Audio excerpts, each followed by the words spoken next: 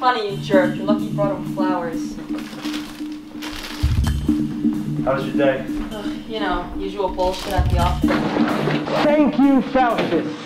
Ladies and gentlemen, it feels great to be back on the stage, and we have a good one for you tonight. It's gonna get real dysfunctional, if you know what I mean. I love these dating game shows. Can we watch this instead, please? Now it's time to meet today's contestants. They're playing from home. Let's have a round of applause for Jason and Ashley. Um, uh, I, I, I don't know. Next question. That's not how the game works, sweetie. We will get an answer, but it's probably better if Jason hears it from your mouth. He's not gonna stop. What do we do?